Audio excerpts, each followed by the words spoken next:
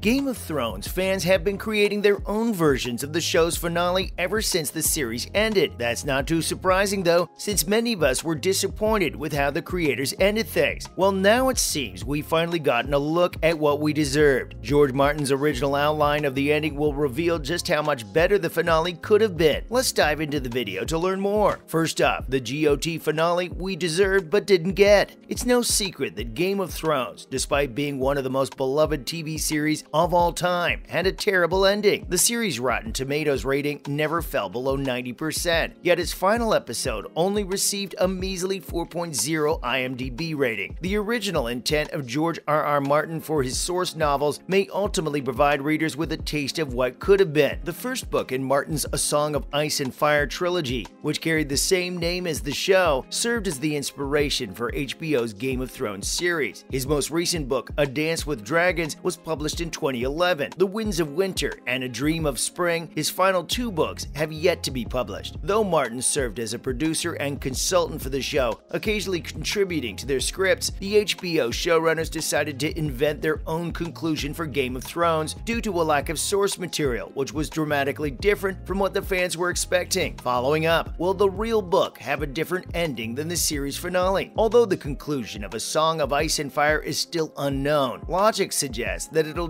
differ from the controversial Game of Thrones climax. But Martin's initial plan for his book series may provide some insight into the course of the last two volumes. While some of the letters have been blacked out, Martin penned a letter to his publisher in 1993 that has been made available for reading. He discusses his initial plan for the series, which was once only intended to be a trilogy. It's grown tremendously to at least seven novels since 1996. Since he first saw A Song of Ice and Fire, a lot has changed. Moving on, what events have been changed from the original outline? Buckle up, these changes will definitely surprise you. Following Tyrion's removal of Joffrey from the Iron Throne, Jaime assumed control of the throne by murdering everyone else one by one before blaming Tyrion for the crimes. Then Tyrion changed his mind and sided with the Starks. By the conclusion of the first book, Bran was supposed to have been installed with Tyrion's assistance onto the Iron Throne. In the show, Bran the Broken became king of the Six Kingdoms at the conclusion of the series after consenting to the North's independence. Fans have waited years for Martin's more recent works. There'll probably be a ton more waiting in store for fans before they could read the conclusion of A Song of Ice and Fire because he said in October that he's 75% done with The Winds of Winter. The seventh has no set schedule. Until Martin's final two volumes are published, which might be at least 10 years from now, nobody will know what he has in store for his conclusion. Up next, how the show should have ended according to fans. Starting off number 15 is Arya should have taken out Danny. Most of Arya Stark's time on Game of Thrones was spent developing her fighting skills, and viewers were eager to see it in action in the final season. One theory even predicted that Arya would kill Danny, which would have been a significant shock. But the Night King and Danny? That'd be too much limelight for Arya, wouldn't it? At number 14 is Bran Stark is actually the Night King. Compared to what we received, this idea would have been considerably more interesting, and we can understand why someone may have thought this. Bran becoming the Night King after warging into him would have saved countless lives along the road and given the baffling Stark character a new dimension. Plus, at number 13 is Danny not having such a drastic turn. We can't blame the many fans who appear to agree with this. Danny's turn doesn't have enough build-up and, as a consequence, comes out as being overly severe. This argument is based on Danny not making such a severe swing and entirely abandoning her own character, so it wouldn't really alter anything. It could have meant that the ending would have been a lot happier for everyone. On number 12 is Danny becomes the Night Queen. To witness this would have been wild. According to this theory, Danny would have lost her dragons and turned into the Night Queen, joining her offspring and wreaking havoc on Westeros. It would have added a ton of spectacle to the conclusion and caused viewers to pick up their jaws from the floor. Moving on to number 11 is Danny and Jon rule together while White Walker toddlers lie in wait. According to this theory, a Targaryen, like the Lannisters before them, would have sat on the throne of Westeros and had a member of their family serve as both their hand and their lover. The children of Craster would have lived and given way to a new menace in waiting, but Danny and Jon would have shared power in Westeros. One of the show's fans said that he's such a sucker for good endings that he actually thought Danny and Jon would just reign together, and as a result, Sansa would still have the autonomous North. He said that he knows that the Mad Queen thing definitely made for a more fascinating storyline, but he still hated witnessing Danny's demise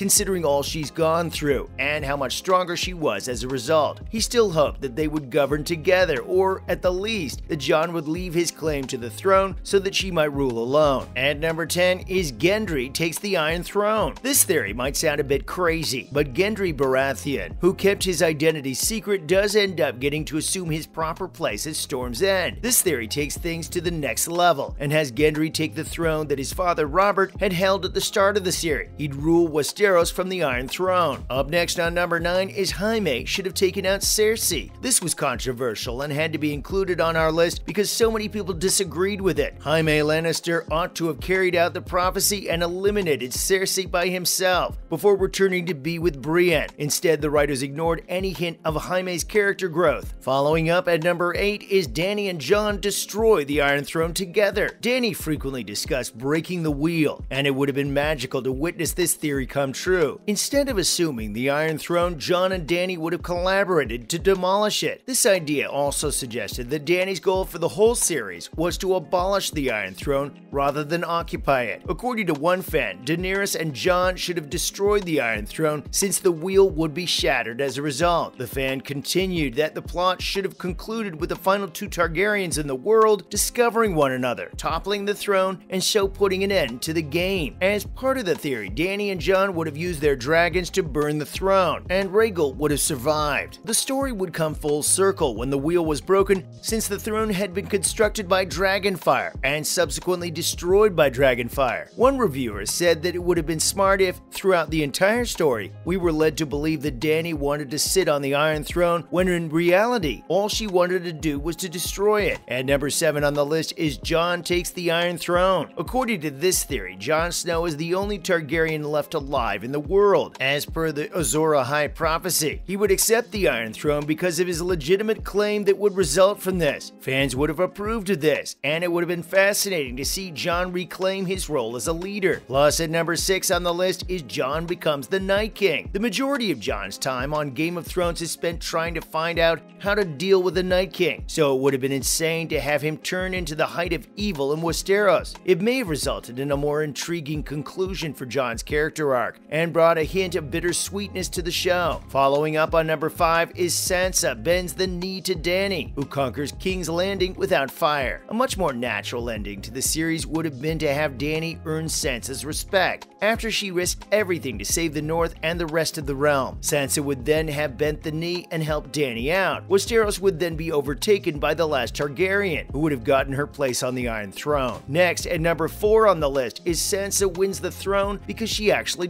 deserved it. Most people found Sansa's betrayal of her brother in the series finale to be bad writing. This theory helps to add more sense to her choice because she just assumed the role of Queen of Westeros. She has a variety of political experiences and has studied under players who are experts in the field. Her final defection was so pointless. Then at number 3 on the list is Sansa gives birth to a Bolton. Both Sansa and the audience would have had to cope with this. According to this theory, Ramsay Bolton, who treated Sansa horribly, is the father of her unborn child. It would have been something that developed during the course of the last season. Moving on to the second best theory on our list, Sansa marries Gendry. This theory dates back to the first season, when Sansa's father, Ned, discusses the kind of guy he hopes his daughter will date. Even if Gendry and Arya had a clear connection, a union between Baratheon and Stark would have been a full circle event that may have had significant consequences for the show's final season. Taking up the number one spot on the list is Tyrion's a secret and gets the Iron Throne. Despite being a clumsy fool who continued to make enormous mistakes throughout the course of the final few seasons, Tyrion managed to survive and amass a tremendous amount of power. According to this theory, he genuinely has Targaryen ancestry, and as such, he's a legitimate claim to the Iron Throne and may conceivably rule Westeros. That's a wrap for this video. What do you think about George R. R. Martin's original outline? Comment below, give this video a thumbs up, and subscribe to our channel for more videos like this. See you in the next one.